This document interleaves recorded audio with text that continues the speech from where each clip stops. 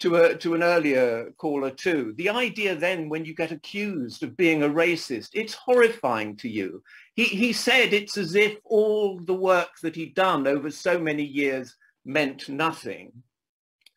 So my uh, my response, uh, I didn't know how to quite go about this, but I thought I'd gently say, I hope you don't mind, but I would like to try and raise the money to replace your prize. Mm. And this was on Thursday. And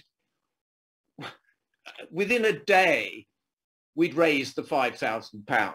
You know, it, people's reaction was so strong that, that um, I'd get notes from GoFundMe, the, the organization saying, you know, this is, you know, one of our best uh, funders. Can we now talk to the media? You know, we're amazed at this story.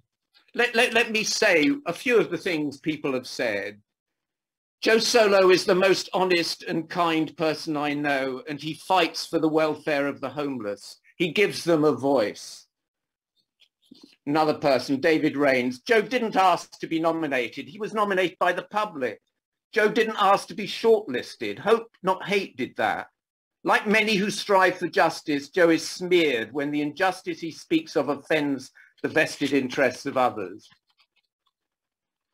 Uh, Keep doing what you do, Joe. We love you and your passion inspires us to be better people.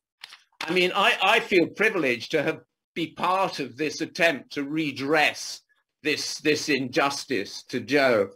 And, and I, am astonished at how, how rapidly people have, have, have contributed. We're now up to 7,000, 9,748.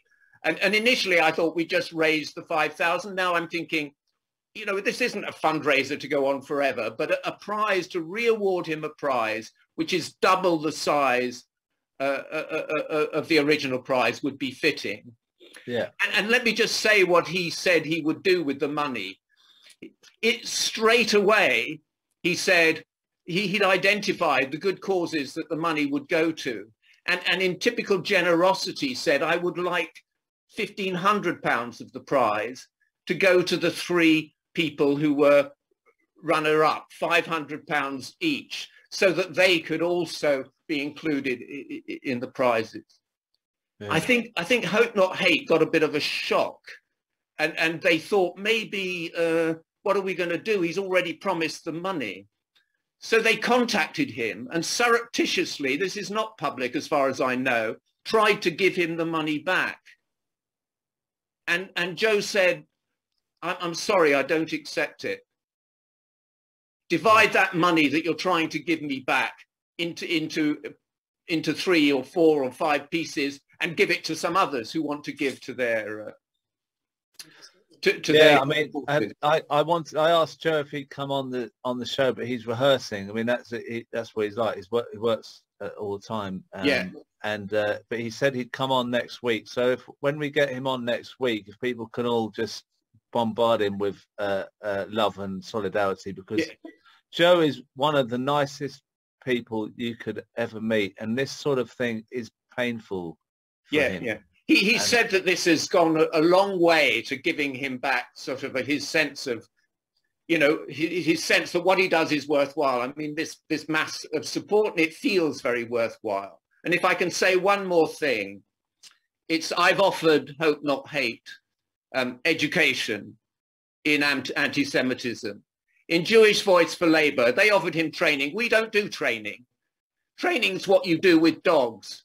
We, we offer education. We, we try to enter into dialogue with people. We talk to them. We allow them to express their thoughts and, and, then we discuss with them whether perhaps those thoughts might, might be expressed better or whether there are things that they need, need to think about.